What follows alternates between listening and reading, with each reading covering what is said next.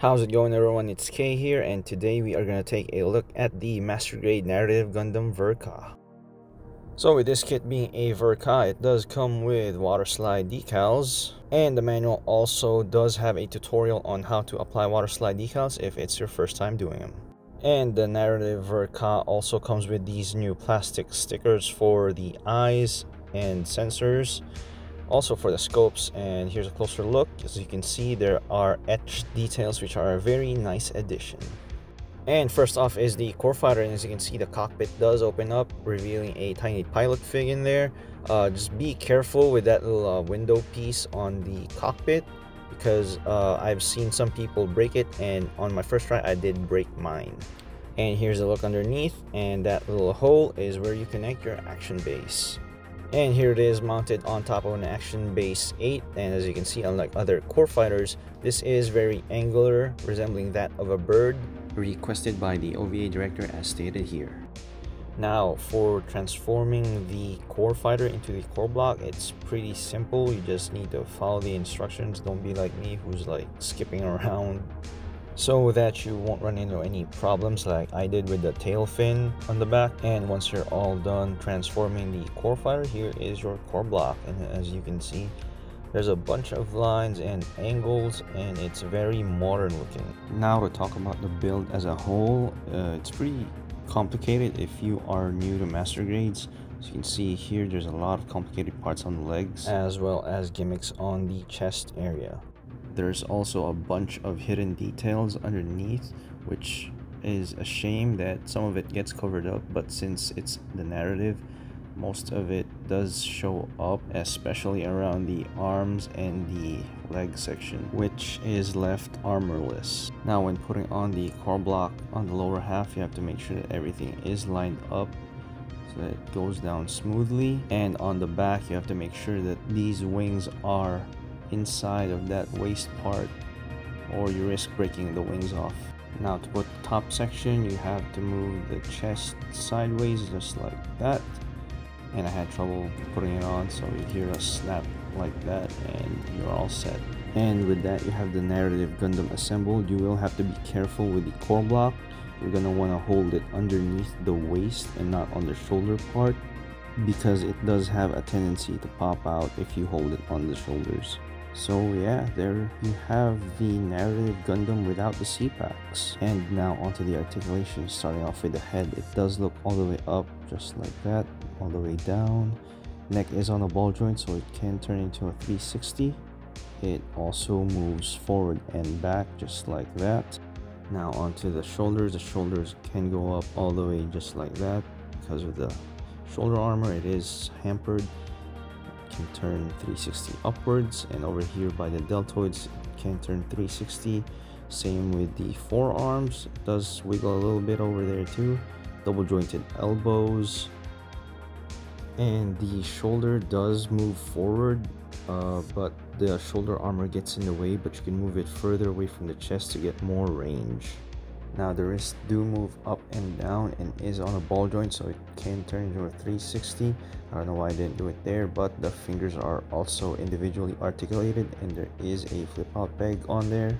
The upper chest can also lean slightly towards the left and right. And now moving on to the bottom half of the narrative Gundam, the side skirts can move up and down. It is on a double ball joint and it is hampered by the waist up there. So you move it down more to get more range out of it. And here is what that double ball joint looks like. The side skirts can go up but it is hitting that waist uh, section and then it can move in a 360 just like that.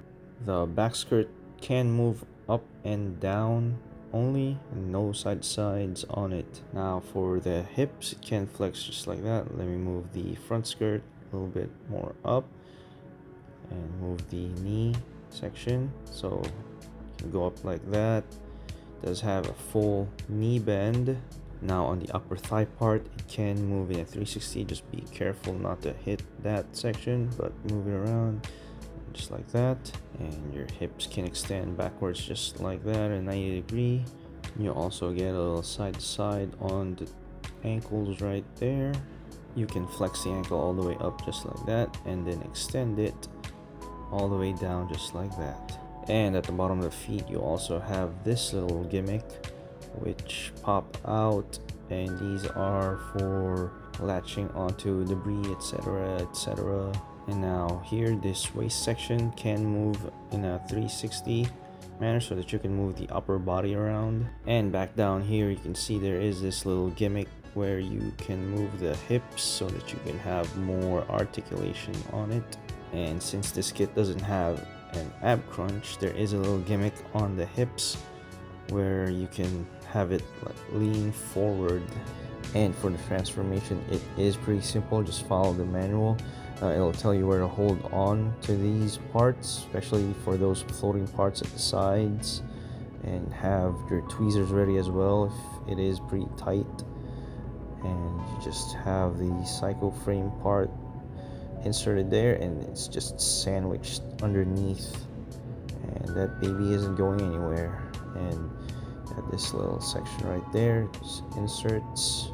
And mind you it feels like it's gonna fall out but it won't. And now just repeat the steps for the other side.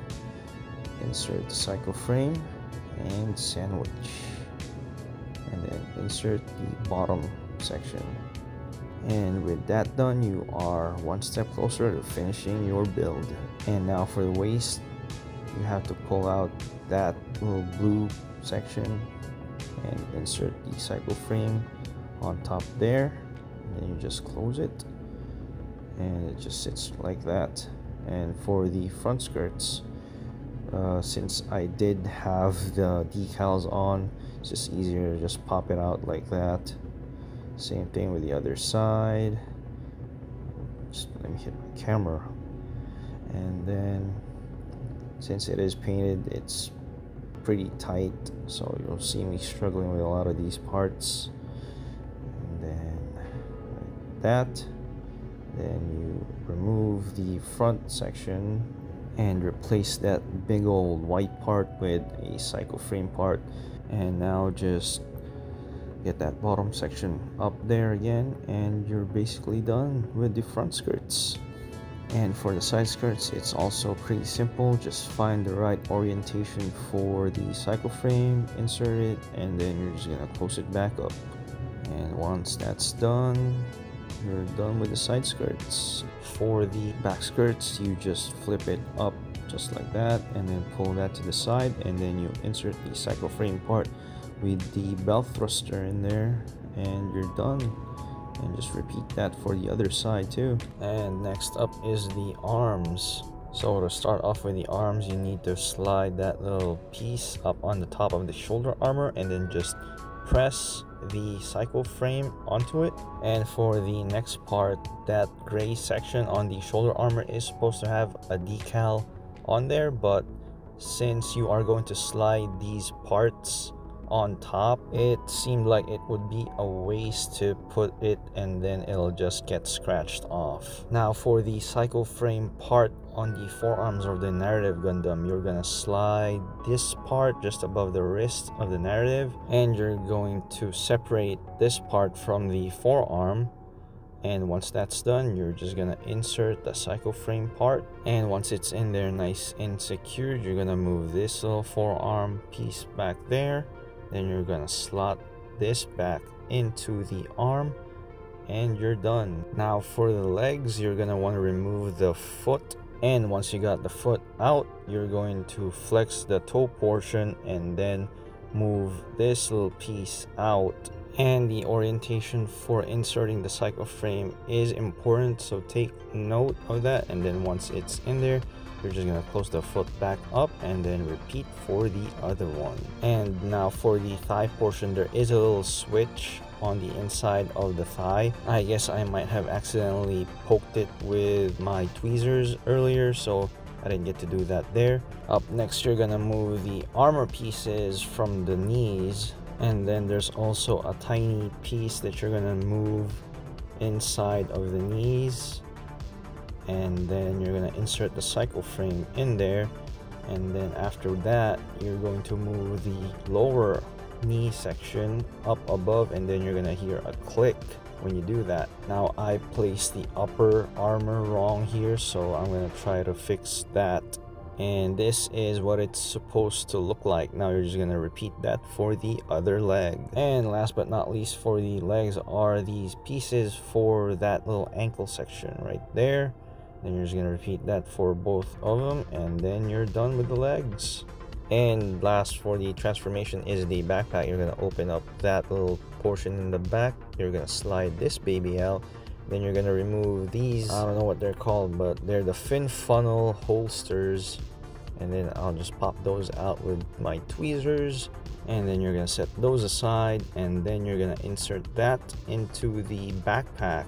And once it's slotted down in there, you're to close it back up and then put the fin funnel holsters back up and they are designated on which sides are which so that you won't be confused and you're done and here is the narrative gundam with the c packs up close and as you can see i did put the decals before i put the psycho frame parts because i didn't want to top coat the clear parts but that also made it harder to transform. And I really love the narrative Gundam's design. That's why I painted all of it. Here's what it would look like if it wasn't painted. The psycho frame also reacts to UV lighting.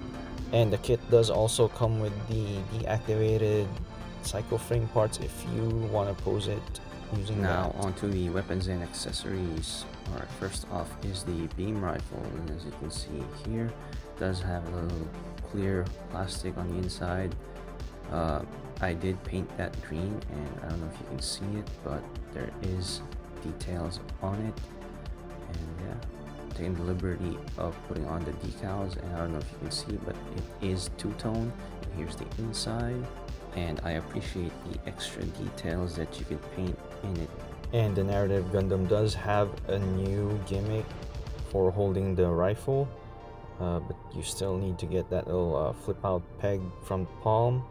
And then you need to remove this little back section from the handle and then you're gonna slide that up towards that little flip out peg in the palm and once you have it in there nice and secure you are going to slide the handle onto that part and you're gonna want to arrange the narrative Gundam's fingers on the position that you want it to. So just like that and you can just push that little ball joint up in there and you're done. And as you can see here it's holding it nice and secure. And if you don't want the narrative Gundam to hold on to the rifle you can also store it back here on the waist. The magazine is also removable and you get two of these guys and you can store the extra magazine back on the back skirt. Just insert it right there and it's not going anywhere. Up next is the shield and as you can see here i did use the awakened psycho frame parts and back here i just painted it metallic gray and also you can see the missiles on there too. And yeah up front i did put the water slide decals and under there it's much easier to just put the decals before you put the front psycho frame parts on there. And you can stow the shield on the narrative Gundam's back if you don't want him to hold it. Just make sure that this circular part is down at the bottom and then you're just gonna insert that little peg into the backpack. And like that nice and secure. And if you do want the narrative Gundam to hold on to the shield you get these two extra parts over there then you're gonna disassemble the arm section. Insert that little piece in there. Be careful i did put the water slide decal so just be careful especially over here in the wrist section. And once you get everything mounted on there you get the hands and just insert it back to the arm. And as you can see here I did use the closed fist hands and then you just insert that into the shield. And once the shield is mounted it can swivel and do a 360 on there as well. Up next is the beam sabers. You do get two of these guys. I don't know if you can see here but other ones back there. And you also get beam saber effect parts. And these guys also do react to UV lighting but there is also a tiny water slide decal on there. And if you don't want the beam sabers in the backpack you also have this little piece which inserts into the waist. And for holding onto the beam saber same thing with the beam rifle. You put that little flip out peg out and then you're gonna insert the deeper hole from the beam saber onto that little peg. And there you go. And circling back to that little beam saber holster you just take your beam sabers and you basically just insert them into those holes. But do be careful if you've put the decals on beam sabers because it is a pretty tight fit and it's probably going to scratch those decals.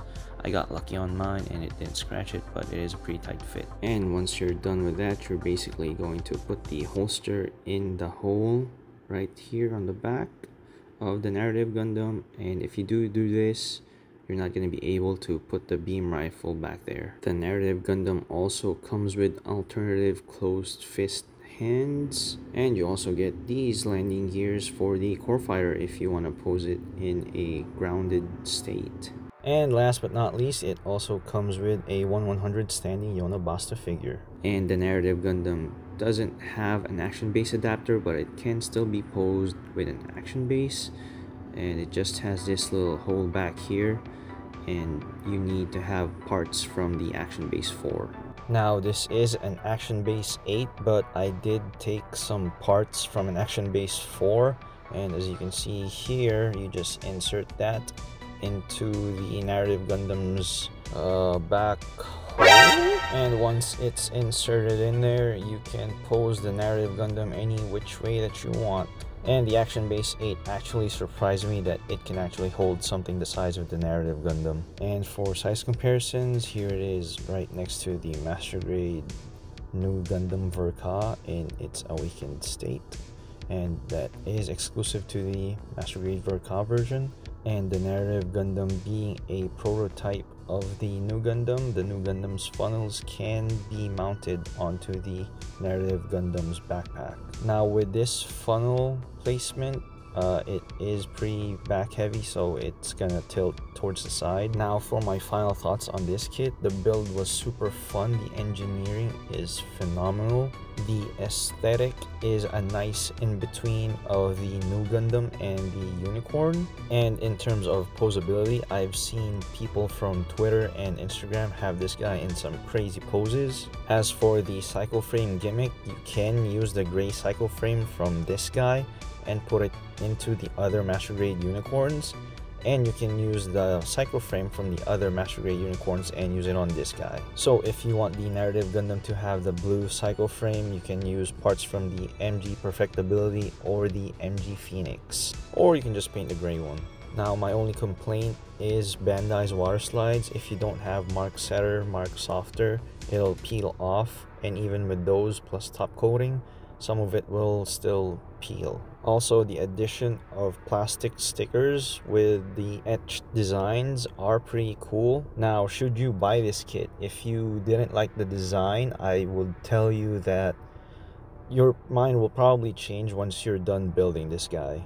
It looks awesome when you have the C-packs mounted into it. And also with the amount of gimmicks that it has for its price point, it's worth it. And this guy is $72 so it's not cheap. But if you do have the chance to get it I would say go for it. You won't be disappointed with your purchase. And with that I do hope that you found this video very informative. And like the video if you like the video dislike if you dislike. I'm not gonna tell you to subscribe if you don't want to